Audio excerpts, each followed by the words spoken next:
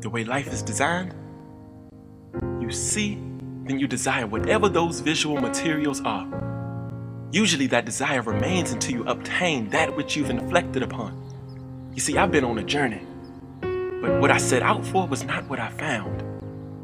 Steady pounding and pounding of blood within my chest, keeping me breathing. Walking and talking as if I were fine, but really, life was so far from my actual truth. You see, my body was living, but my soul was dead. Going home to a place where a four letter word was what they strived upon. I didn't know much about it. And they didn't know much about me. One thing I do know it's truly an honor to be living and not just existing.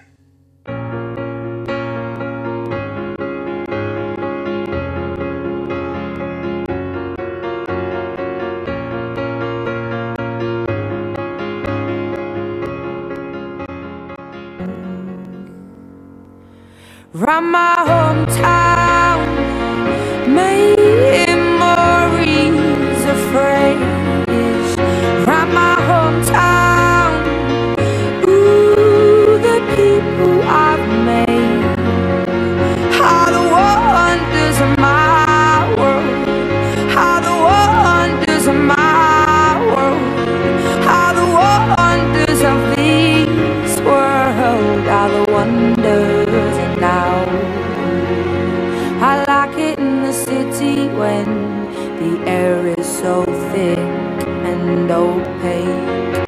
I love it to see everybody in short skirts, shorts, and shades.